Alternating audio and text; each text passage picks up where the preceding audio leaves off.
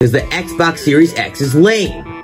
Listen, chick, you have two options right now. No! Stop! Help!